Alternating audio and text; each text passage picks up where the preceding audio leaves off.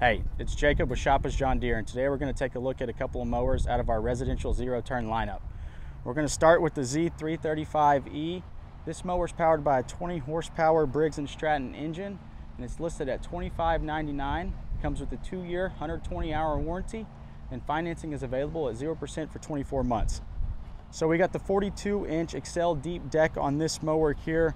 Uh, the 42-inch deck's a great size for those customers with smaller residential lots and get in and out of your backyard and fit through the standard gate size. So overall, just a great residential uh, zero turn mower at a good entry price point.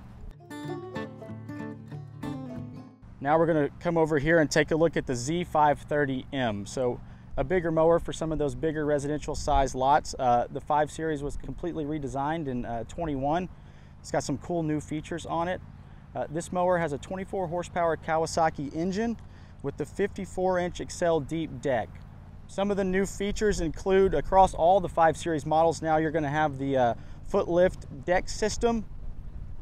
You're going to have a high back 20 inch seat with comfort glide and armrest and the ROP system now which is uh, an easily adjustable pin system so you can move it up and down on the fly. This mower is going to list at $48.99 and it comes with a four year or 300 hour warranty. Um, financing is currently available at 0% for 36 months on the Z5 series. Again, I'm Jacob with Shoppa's John Deere and Giddings. Thanks for checking out our residential zero turns. It's springtime. Um, come see us at one of our eight locations so we can find a mower for you or check out our specials and pricing at sfstractor.com. Have a great spring, guys.